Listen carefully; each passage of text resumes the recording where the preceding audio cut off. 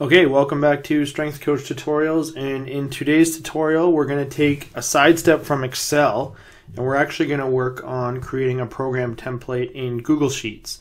Google Sheets has a lot of um, powerful features and we're going to put those to the test today. Okay, so let's get started here with Google Sheets.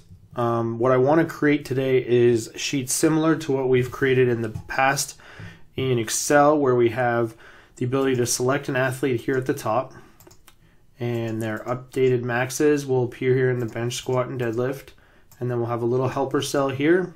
Then you have the ability to select um, the exercise order the category you want to select the max that you want to use the max value will populate here and then the exercises that you want to select from. So what I've done here is I've created actually um, a blank one and we're going to get to work here. So the first thing that you need to know is you're going to want to create another sheet to house all of your exercises, athlete data, all that sort of thing. So I've created one here down at the bottom called settings. And you'll notice I've actually set it up very much the same way that I did for the powerlifting program um, video that we made earlier. In fact, I just uploaded my powerlifting program one that I had created earlier to Google Sheets and then I had to make a few changes. So I'll talk about the changes that I made and anything else that would work from the earlier video. You can just go back and watch how to do it in Excel and all of those changes should carry over to Google Sheets. So the first major change that you have to know about Google Sheets is anytime that I talked about in Excel formatting as a table, that's not possible in Google Sheets. So when we actually have to select a range, we will actually have to go in and select the whole range. So for example, this athlete one is in cell C4, so it's C4. So if we wanted to select this range, we would go from C4 all the way to F7. So that would be this whole range. You can see that it all highlights here. And I've set this up quite the same way. We have the name, bench, squat, deadlift, and you can put your athletes in here. A1, athlete 1, 2, 3, 4. Um, put all their bench values in here. Then the next um, box you're going to want to create is actually your exercise categories box. So upper, lower, arms, etc. Whatever you want it to be. It can be knee dominant, hip dominant, um, vertical push, vertical pull. However you like to categorize out your exercises. For the sake of simplicity, I've just gone with upper, lower, and arms. And then the next biggest change that you're going to want to make is for your actual exercise categories, we're going to have to make name ranges, and that happens just a little bit differently in um, Google Sheets. So what you're actually going to want to do is go to um, Data, Named Ranges, and you'll see on the side here it opens up a box called Add a Range, and I've already done a few of them here. So let's go through um, our upper named range. So if I click on that, I'll actually actually we'll add a new one here. So we'll go add a range and you can see it gives me the option to name the range. I've already named one upper, but we could easily make this upper. And then when you actually select the name range, what I like to do in Google Sheets is just select the whole column. So for example, here it just says um, J um, double dots J. And what that means is, is it's actually going to take this whole column. The interesting thing about Google Sheets when we start to do our drop down list is it doesn't show any spaces. So if we take this whole column and we do a named range, when we go to select it in a drop down, it's only really going to show the upper bench press, decline, lat pull down, chin up, and overhead press. It's not going to show any of these other spaces unless we were to put um, some values in those. So you can actually feel free to make your exercise list as big as you want and take the whole column. So that's one of the changes that you're going to need to be aware of when you start to make your lists in Google Sheets. So this is how you're going to want to set it up. So again, just so you don't have to go back in the video, you would just go to data, named range, and you can create an athlete name uh, named range. So I've done that here. I've done athlete underscore name, and then it refers to settings, and then name, um, yeah, so C3 to C7. And then I've created exercise categories in the same way. If I edit that, you can see that it refers to um, H4 to H6, and that takes over upper, lower, and arms. And then I've created one for each of those categories, upper, lower, and arms here, and that takes over the whole column. Okay. And then with any, just like anytime you're using named ranges, it's really important that you keep the spelling the same and you can't put any spaces in the named ranges. So you can see when I did athlete name, if you look over here, it's athlete underscore name. Whenever there's spaces, it's not going to be able to um, pull those values back out. So it's important to take the spaces out of any named ranges that you want to use. So if you were using knee dominant, it would be knee underscore dominant or hip underscore dominant or however you like to term your named ranges. Okay, so that's how you're going to want to set up your settings page. So just to reiterate, you're going to want to use um, the full ranges when we're doing our lookups and we can use named ranges here and here. And then when we're doing our exercises list, the best way is just to do columns. So we'll close that off and we'll go over to our worksheet now.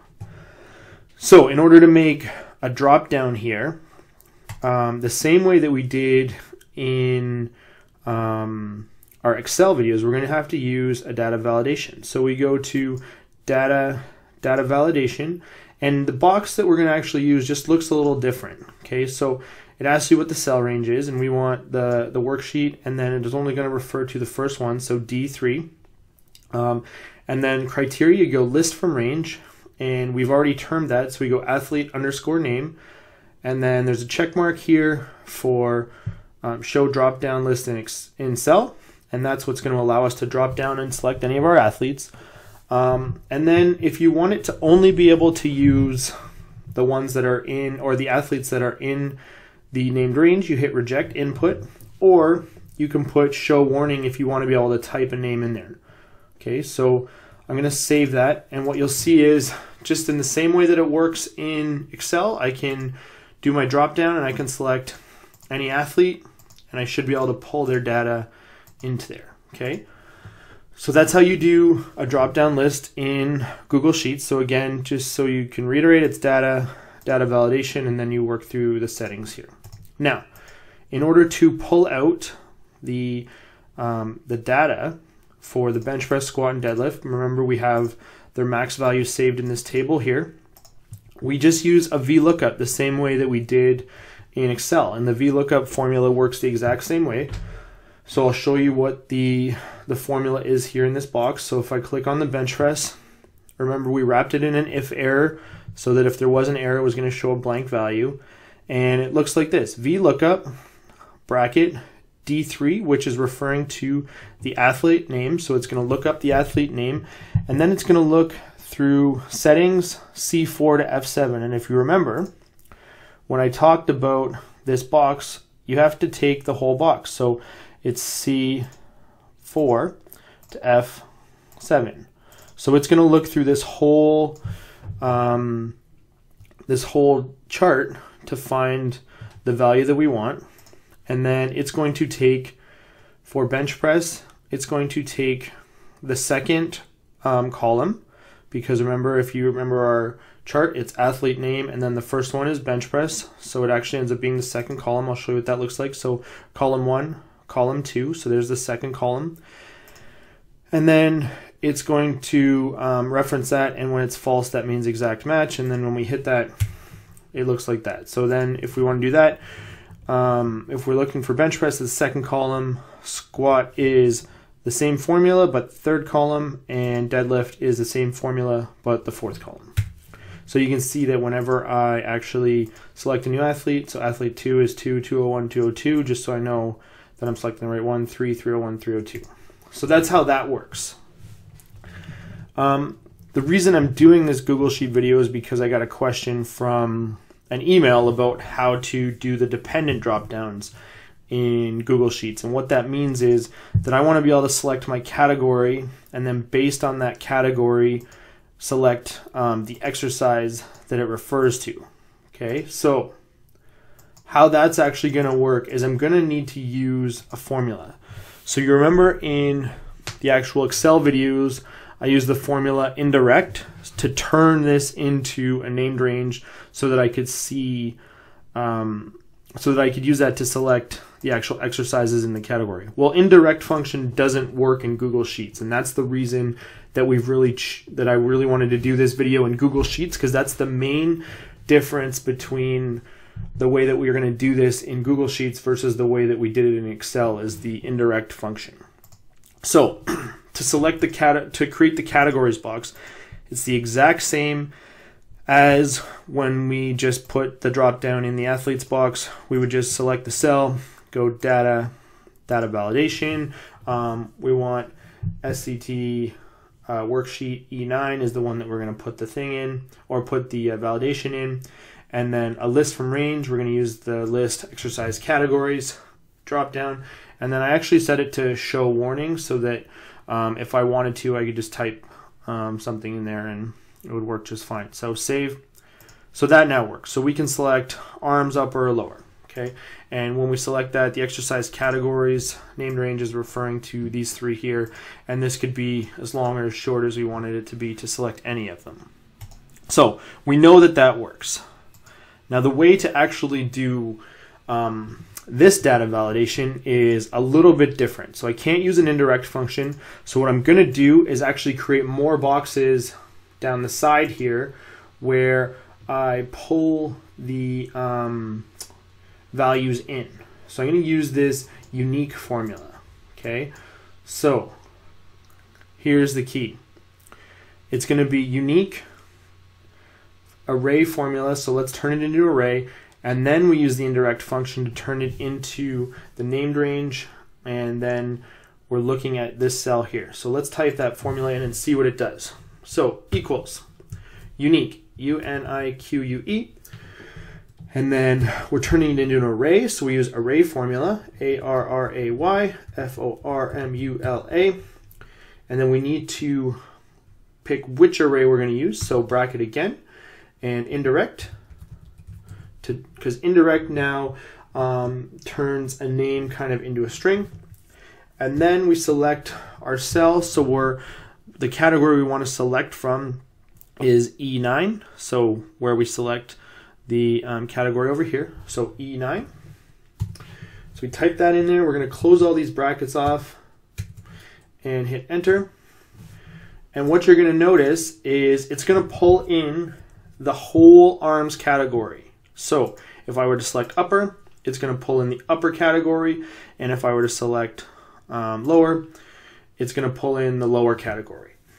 So that's good news for us because now we can do a data validation here and actually select from this. So this is going to be dynamic. It's going to change based on the category that we select.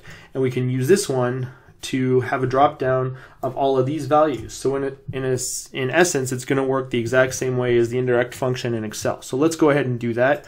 So we'll go to data, data validation, and cell range. Okay, so SCT work, uh, worksheet um, H9. So this cell here. And we want a list from range, and we're going to use this range here. So I'm actually going to select it and draw a box all the way down here. And you could set this how, however you wanted. You don't have to have the categories along here, but I did this so that the video is easy to follow around. You could easily just make it a column. Okay. And have it to show warning, show dropdown, and save. So what you're going to notice is if I select upper, all of these values have been pulled in over here. I should be able to select any of the upper body exercises that I have saved. Let's say lat pull down. If we were to select arms, you're going to notice that I'm able to pull in any of the arm values. And if we were to select lower, I can select any of the lower values. Okay, and just to show you that that's working, we'll go back to our settings and I'm going to add one way down here and let's call it um, seated overhead press. So I'm going to save that value in there and that's in the upper category. So we go to SCT worksheet, um, upper, you can see it takes all the spaces out and then I should be able to select seated overhead press. So then any values that you put in these lists here will be selectable on your main sheet. And you would just need to create one of these boxes for each one of your um, spots where you want to input an exercise and that and that'll work for you um, quite well. So that's a way to get around the uh, dependent drop-down lists in Google Sheets. There's some other ways, but this is the um, the simplest way that I found to have it working um, right away. So if you're enjoying these videos, Um, it would really mean a lot to me if you could uh, like and share them. You can find me on social media um, Twitter, Facebook, or Instagram at DSM Strength. Thank you very much, and I will see you next time.